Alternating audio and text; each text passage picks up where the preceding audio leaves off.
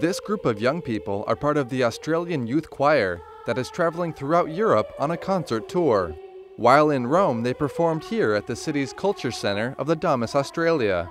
The group's organizer, Julie McKenna, has been working with children in performing arts for the past 35 years. She says the youth tours have increased since the beginning of the organization. We've been doing it for 24 years regularly, coming with a tour um, to different parts of Europe or America.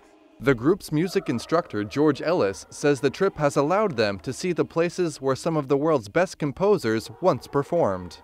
We started in London and then went to Austria and saw um, the birthplace uh, of people, of composers like Schubert, or at least they worked there, and uh, Beethoven and Brahms. And finally we've arrived in Rome after performing in in Florence um, and it's been a wonderful trip uh, and uh, to cap it off in Rome is a dream come true for me. The children on the tour range between the ages of 10 and 18. They come from every corner of Australia to bring some of their native songs to Europe and take back home the sights and sounds of European antiquity. Today I saw the Colosseum and the Roman Forum, which were really good because I've learned about it at school and I've been dying to look at it.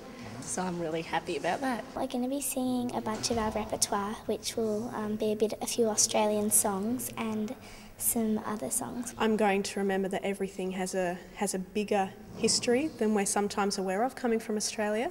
Um, our uh, European settlers, like our settlement, only dates back a couple of hundred years, whereas everything here is very old, very steeped in history. For the Domus Australia, concerts like this one help to promote a culture exchange not only for these children, but also the city of Rome.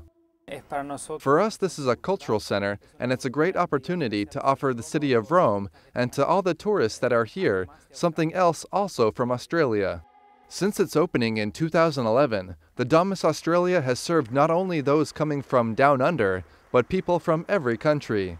For the Australian Youth Choir, performing here helped to bring a bit of their home country to the Eternal City.